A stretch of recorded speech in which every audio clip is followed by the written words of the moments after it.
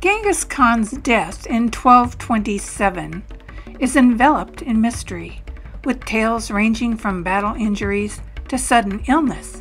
However, it is his mysterious burial that truly captivates with its chilling secrecy.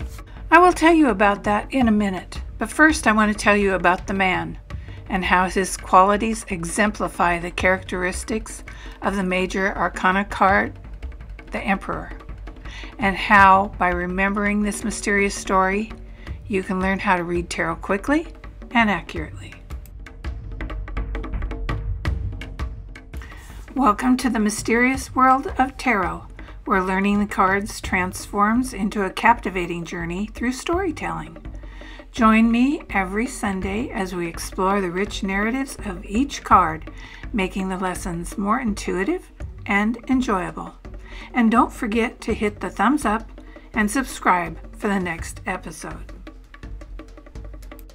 Genghis Khan, born as Temujin, emerged from the windswept steppes of Mongolia to forge the largest contiguous empire the world has ever known.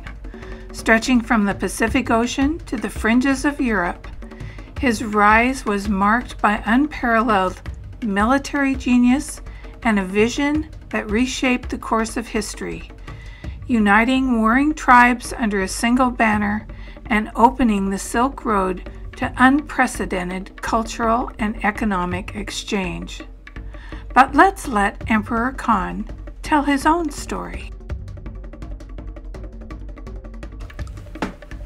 800 years ago, I, Genghis Khan, a symbol of leadership, structure, and unwavering control, felt my mortality wavering. I called my most trusted advisors and generals. I prepared to issue a set of instructions that would become as legendary as my conquests. Should I die, I declared, my voice carrying the authority that had united nations. Let no man know the place of my burial. Take my body to the homeland and let the secret of my final resting place die with those who bear me there. The room fell silent as the gravity of my words sank in. They knew that disobeying my request would be met with swift justice. As the greatest conqueror the world had ever known, I was unyielding in my enforcement of laws, and I was preparing for my final campaign one of secrecy and mystery. Kill anyone who crosses your path, I continued. My eyes gleamed with the same intensity that had struck fear into my enemies. Let a thousand horses trample my grave, and then slay those who rode them. The world shall never find where Genghis Khan rests. My instructions were clear, and my men nodded solemnly, understanding the magnitude of the task before them.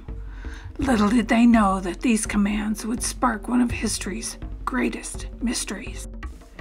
In 1227, with my strategic planning and foresight, I meticulously planned operations against the formidable warlord Xixia. I saw the long game, planning not just for battles, but for the future of my empire.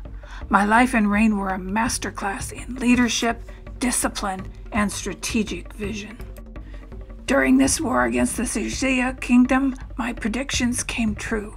I fell ill. Some say I was injured in battle, while others whisper of more sinister ends. But the truth of my passing became as elusive as I had been in life.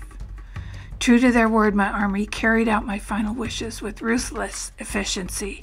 They bore my body back to Mongolia, leaving a trail of silence in their wake.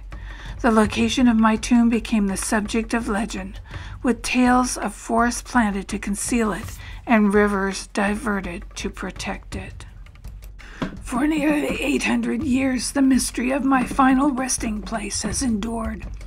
Researchers and adventurers have searched tirelessly, using everything from ancient texts to satellite imagery, yet my tomb remains hidden. This enduring enigma serves as a testament to my power. Even in death, I continue to command secrecy and respect. My final instructions created a mystery that has captivated the world for centuries, a fitting legacy for a man who brought order to the wild steppes, established a new era of unity and strength, reshaped history, and whose influence still echoes across the steppes of time.